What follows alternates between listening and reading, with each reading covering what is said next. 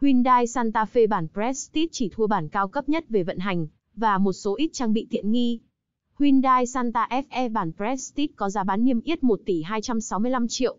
Xe sở hữu kích thước tổng thể dài rộng cao lần lượt là 4.830mm, 1.900mm, 1.770mm.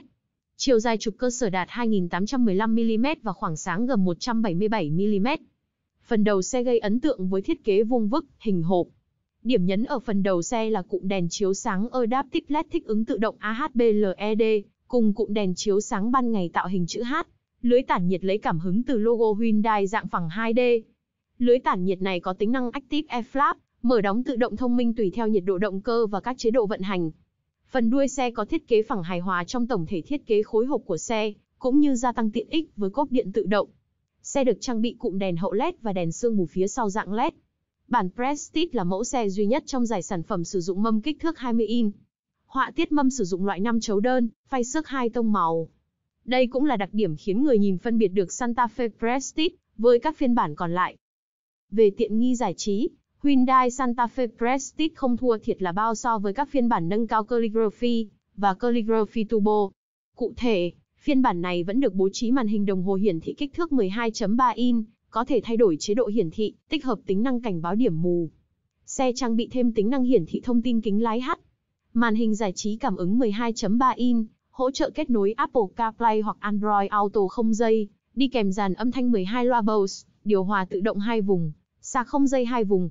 Ghế trên bản Prestige chỉ được bọc da bình thường, không phải loại Napa như các bản cao hơn.